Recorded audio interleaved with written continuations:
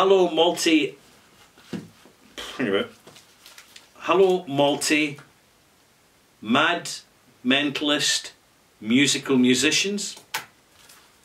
Thank you, Tony M, for that malt mentioned. This is Ralfy Review 938 Extras, and I have just reviewed an independent bottling at high strength of Douglas Laing Talisker 12 year old. And I encountered a problem, but the problem started to fade away because I knew how to deal with it. And the problem was in the flavour. It, it hit a flat zone. And whiskies can do that.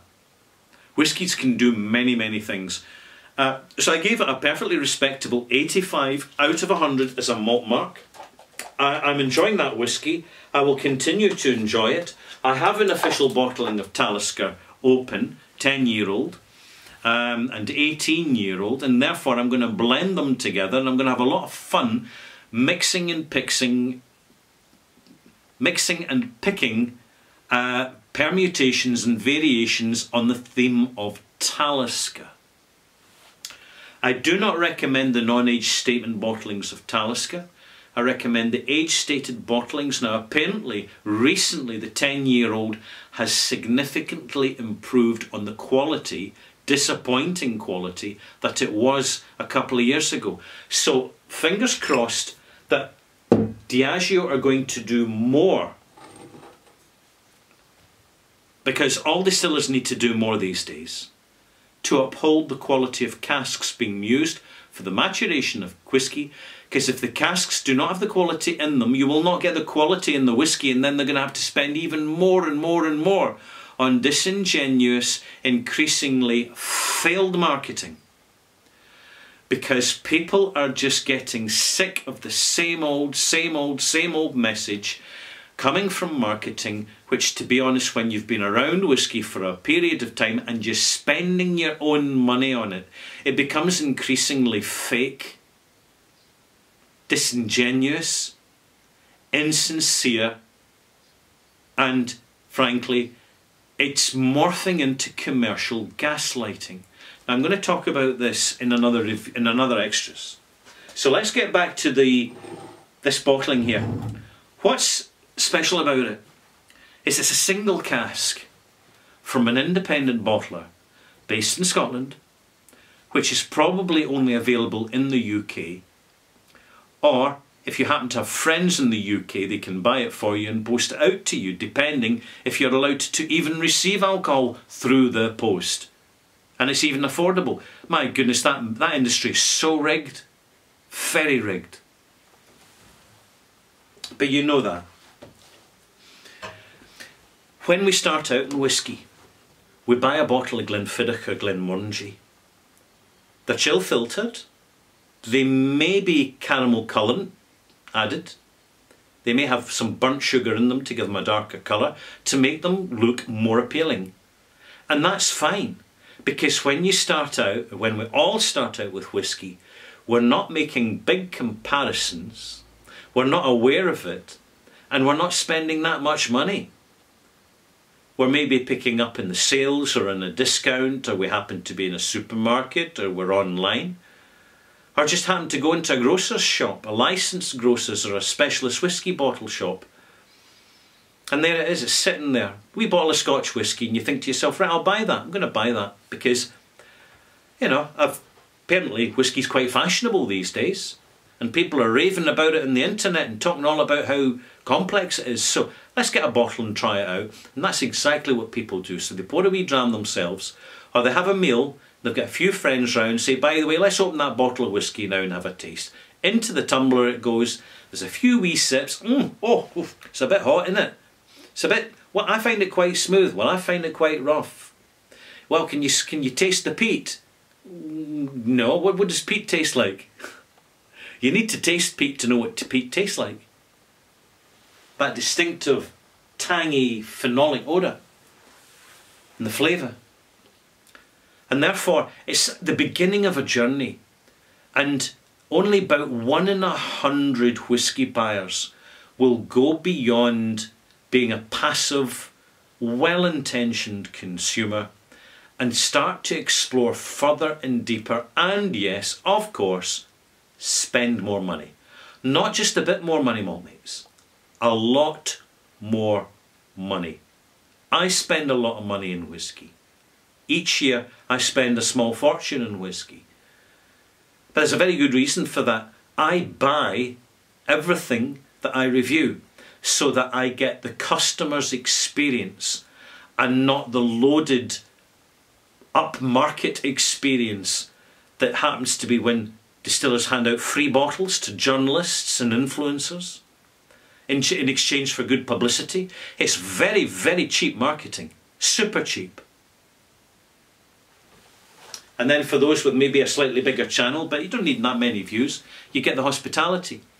You go along and then suddenly you're presented with maybe a cask strength whisky, a limited edition, and you're getting through the burn of the alcohol and you need to quickly gain the experience of using water to cut down that alcohol to access the flavours.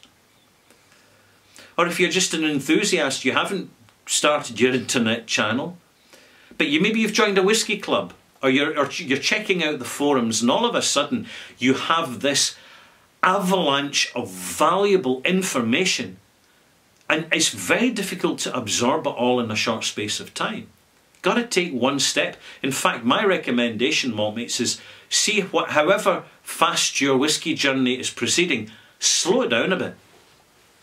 Don't rush it because ultimately there is no destination. There is no destination. It's the journey that matters. And the journey is when we, we evolve over time with patience, practice, and tasting perseverance. We start to move to higher strength whiskies, like official bottlings without chill filtration colour added, like Springbank and Kilkerran, Arran and Glencadam, Noch, Ardnamurchan and Torabhaig these very exciting distilleries, some of which are only just arriving in the scene and showing great promise. You will not know about them until you're online learning your trade, the malt trade, the malt tasters trade. Whiskey's not for guzzling. People who are opening a bottle of whiskey and having a whole bottle with a mate in a night going nowhere. Just hurting the liver. So it's the culture. You go from the chugging culture, the quaffing culture, the let's put ice in it, put Coca Cola in it, it'll make it easy to gulp, and then I can get some more.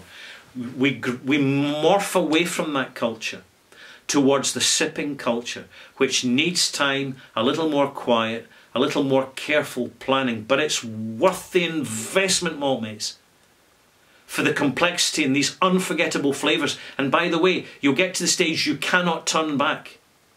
You will have a night where you're just quaffing something back with ice in it and Coca-Cola and ginger beer, beer and all the rest of it. And do you know what? You won't really enjoy it. Because it's not the same. It's far more superficial. Far more shallow.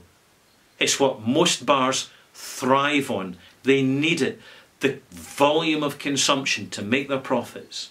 Even better if they're a style bar. They can treble, treble the price while offering basically the same product with a little garnish, minimal garnish. That's where the real money gets made. The real fast bucks. And they are fast. So here we have an independent bottling. And this, before I go any further, I want to explain it to you. Before I explain how you access it, I'll use this as an illustrative example. 12 year old Talisker, there we go. Bottle at 48.4%, I think, roughly. Unchill filtered, natural cask colour, so that's reasonable amount of colour. It's an active cask, because inactive casks don't pick up that colour over 12 years. It's a settled cask, bigger cask. Only 355 bottles. But don't worry if you've missed one, because they'll bottle another one soon. They're always bottling and they always will be.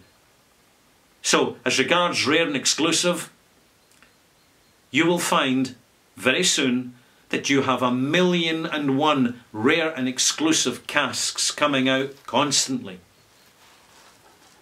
Every rare and exclusive will be followed by another.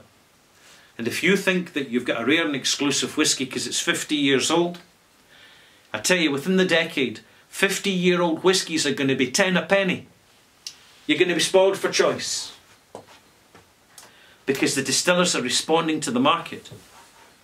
And the older they can make their whisky, the more they can absolutely rocket ship their profits in a moonshot. And they know it. They've never had it so good, malt mates. Never in the history of whisky. Never have so many people been spending so much money. Why?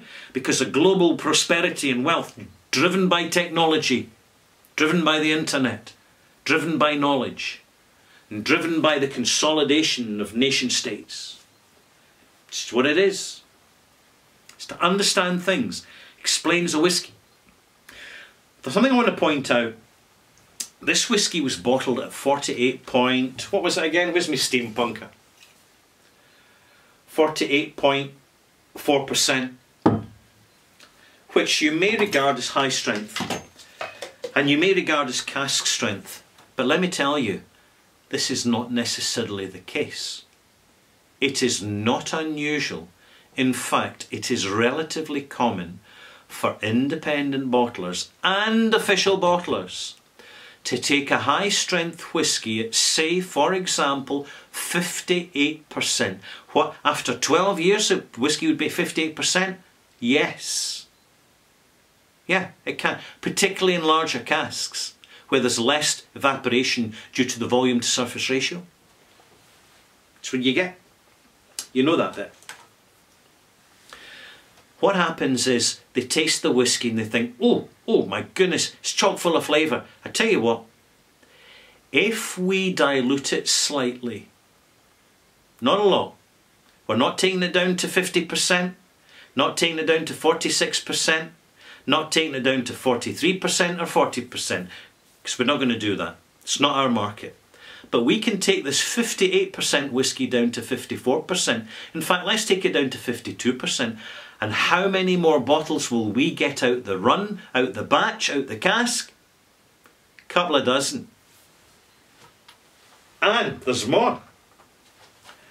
In the UK, they'll be paying lower rates of duty, customs, and excise tax. The lower the volume of alcohol in the bottle, the less tax you pay.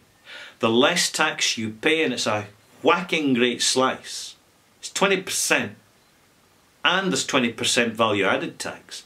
It's almost 40% off the total that customers paying. That's a huge amount of money for people taken by people who contribute zero, nothing, nothing. They only do it because they can, because it's accepted. But it's real life, we get on with it. That's the rules, deal with it. Just deal with it. So one way they deal with it is they reduce down a little bit because they've got a great high strength whiskey. It still looks like a cask strength whiskey. It is still cask strength, but not what it was previously. And uh, they get more bottles, they pay less duty, and they make more profit. And with the cost of buying casks nowadays, with the cost of grain and the cost of energy, with the way the cask prices have skyrocketed, they need that extra money for the business. They need to keep, excuse the pun, a whisky business needs to remain solvent. I couldn't resist it. What else can I tell you about these bottlings? The higher the strength, particularly with single cask, do not expect the familiarity that you get from official bottlings bottled at 40% or 43% chill filtered and caramel added. Do not expect it. You're getting a different experience and it will take harder, it will take longer, and it will be a, more effort, and it will be a little bit harder, yes, it will, to access it you need time. The first glass, no. The second glass, probably not. Third glass, you're getting there. Fourth glass, now. Now you're starting to understand the whiskey. And you'll have to do it not in one night, you'll have to do it over three or four nights. In this whiskey, there's a flat spot There's a grain sour flat spot in the development right through to the finish. And you need, you need to experience it first to recognise it. Then you need to experience the subsequent recovery due to the oxidisation and the unravelling of flavours out the liquor over a space of an hour. And then you say, wow, hasn't that changed? Whiskies change in the glass. They change with each pour out the bottle. The ones that change the least, the ones that change where it's barely noticeable, are the ones that are bottled at 40 to 43% chill filtered and with colorant added. These are the sanitised whiskies. These are the convenience whiskies. These are the pot noodle whiskies, malt mates. They're the pot noodles. Pour and go. Whereas integrity whiskies, whether official bottlings or un unofficial independent bottlings, they need work.